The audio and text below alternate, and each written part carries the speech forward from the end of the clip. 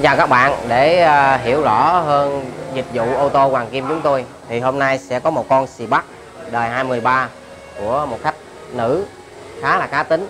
À, chị kêu độ là full full xe cho chị. À, trước mắt là dán đề can đổi màu. À, các bạn thấy là re rang màu đỏ thì chị kêu là đổi màu cho chị.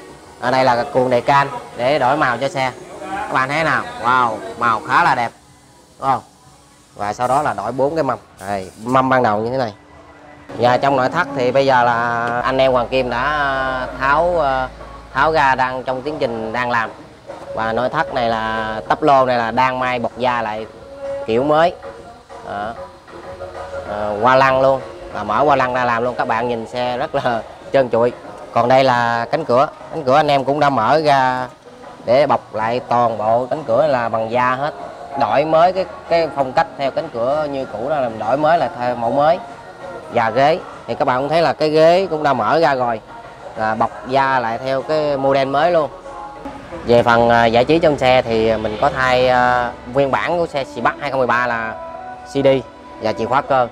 À, mình lên là Sita Top à, đầu Android và cam 360 nãy giờ các bạn cũng đã thấy mình à, giới thiệu sơ qua những gì cần độ những gì cần thay cho con Sibat 2013 này. À, mời các bạn đón xem bằng lọc xác của con xe này nhé.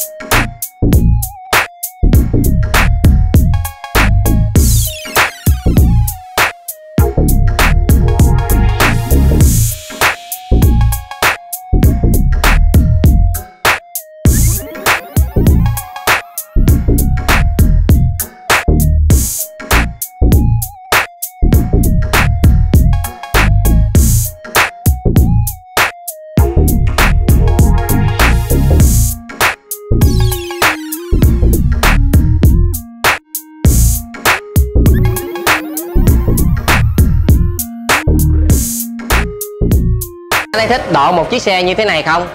Hãy cho chúng tôi biết ý kiến của bạn bằng cách comment phía bên dưới. Đừng quên nhấn like và subscribe cho mình. Và bây giờ xin chào, hẹn gặp lại các bạn.